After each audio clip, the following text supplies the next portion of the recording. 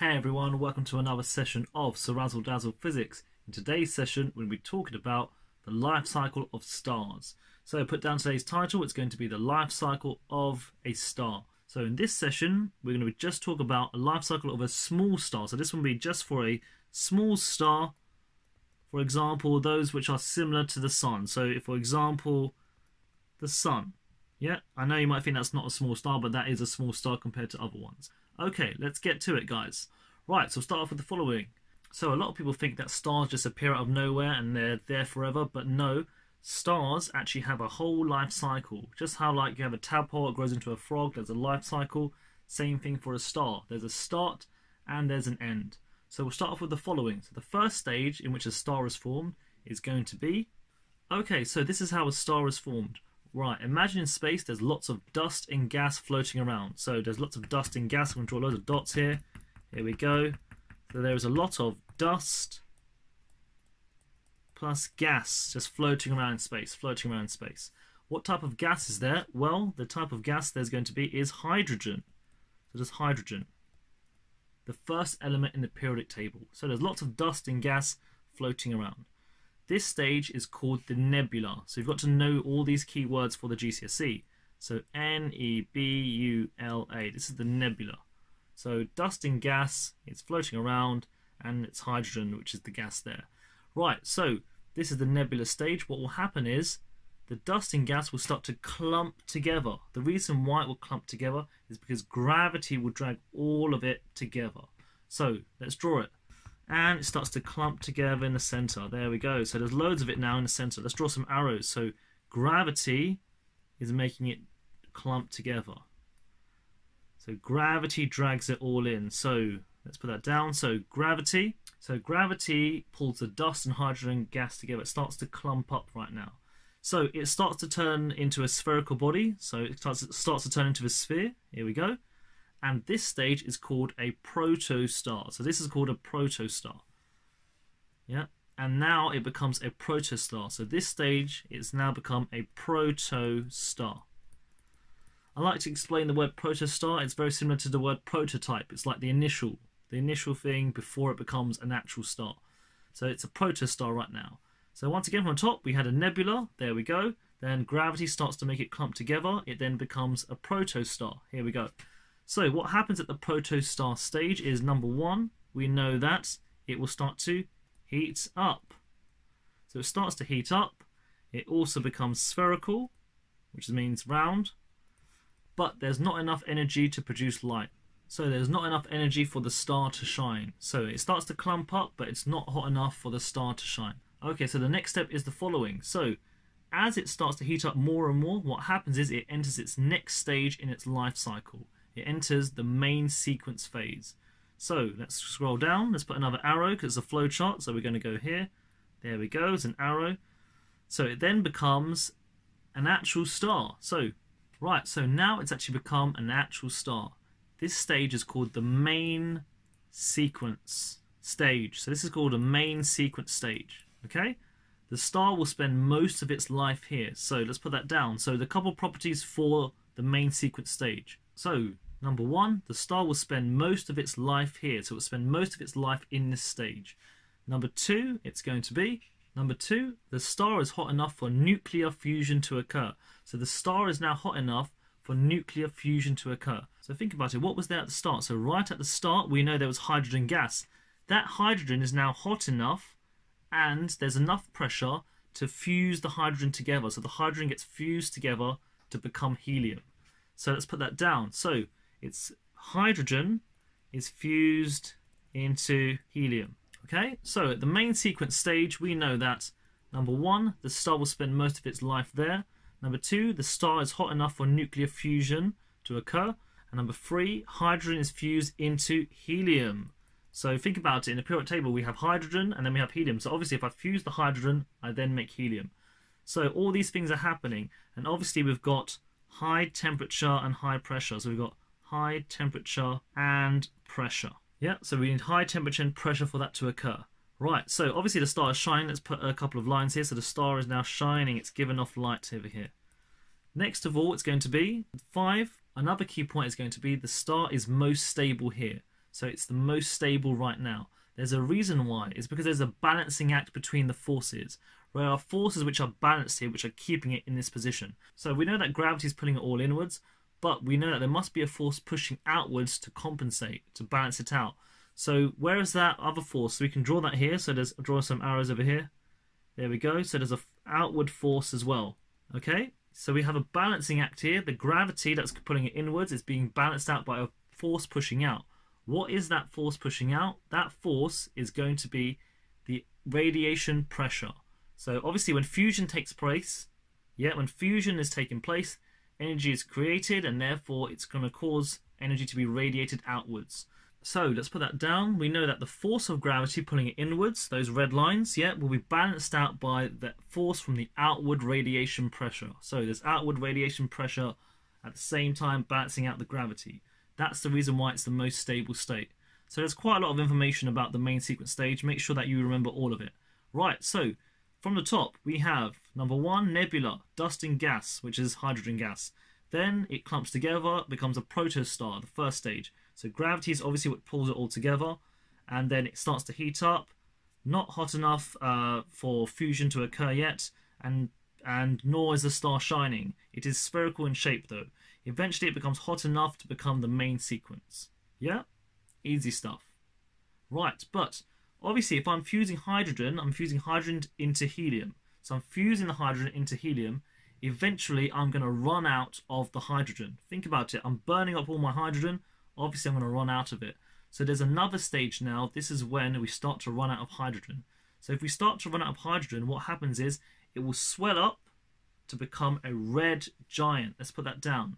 So the next stage, going to put another arrow over here. It then swells up to become a red giant. So here we go. This is the red giant stage. There we go. So now it becomes a red giant. So now it's become a red giant. So in the red giant stage, what's happened is, so the star runs out of hydrogen and then begins to fuse helium. So it runs out of hydrogen inside it, and therefore we can fuse the helium which has now been made in the main sequence phase. So we run out of hydrogen and therefore we start to fuse helium. Okay, so we then start to make heavier elements compared to helium. So we can make, let's say for example, what's going to be made is we're going to make carbon, oxygen and nitrogen, so heavier elements in this case now. So obviously it's swelled up right now. So now the star has swelled out to become a red giant. The star has obviously run out of hydrogen and now begins to fuse helium. And we can make heavier elements such as carbon, oxygen and nitrogen. So I'm fusing helium into these elements here. Okay, so right now from this stage, we know it's much larger than the main sequence phase right now. Maybe I'll colour it in, maybe. Okay, so I've coloured it in. Obviously, it's not the best diagram, but hopefully you get the idea. Obviously, it looks now like a red giant. But eventually, right now, what happens is, so eventually it will run out of the light elements to fuse together. So we can't fuse those light elements together. That won't occur anymore. So what happens is, the core will collapse and the outer layer will shed off. So the core of this will collapse due to gravity and the outer layer will shed off. So what ends up being is, so I'll just draw that right now. So the next stage is going to be the, the outer layer shedding off. So as we run out of the light elements to fuse together, what happens is the outer layer sheds off and what happens is the core collapses into a very hot small white dwarf. So the core collapses to a very hot small white dwarf. Right, and all you're left with is a white dwarf, guys. So you're left with a white dwarf afterwards. And the properties of the white dwarf are it's going to be hot, so hot, dense, and white. So that's obviously, that's why it's called a white dwarf. But eventually it will lose its energy and it will cool down. Right, so eventually it will become a black dwarf. And obviously it will fade and it will become cold. So it's a long process, guys. Loads of keywords in here. So we're going to go through it from the top, right from the top. This is for a small star, guys. So this is the life cycle for a small star. In a minute, we'll look at the life cycle for a star, which is a much larger. So this is the life cycle for a small star. So right from the top, we'll go through it. Here we go. So we have the nebula. So in the nebula, there is dust, gas, and hydrogen. Well, obviously, the gas is going to be hydrogen. Then it starts to clump together due to gravity, and it starts to heat up. It becomes a spherical. There's not enough energy for fusion to take place, or not enough energy for it to shine. So gravity is what clumps it all together. Eventually, it will then become a main sequence star. So this stage is called the main sequence stage. Uh, the star will spend most of its life here. The star is hot enough for nuclear fusion to occur, so fusion can occur. hydrogen is fusing to helium.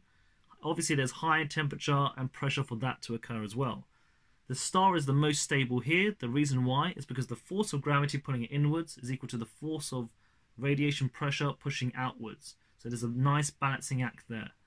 Scrolling down, afterwards it starts to run out of hydrogen. It then becomes, a, it swells to become a red giant. And obviously it's run out of hydrogen and then the star starts to fuse heavier elements such as helium. So we can fuse helium and helium together to make heavier elements such as carbon, oxygen, and nitrogen. Then finally, when we run out of um, the lighter elements, so when we run out of lighter elements, what happens is the outer layer sheds off of the star and the core collapses on it in on itself. So the core will collapse. Once the core collapses, what happens is it becomes a white dwarf, which is hot, dense, and obviously it's a white. And then last of all, that will then cool down to become a black dwarf and fade and become cold.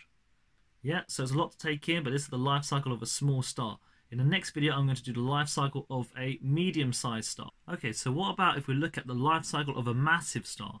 The one we looked at before was for a small star, but what happens if we look at the life cycle for a massive star, one which is much larger?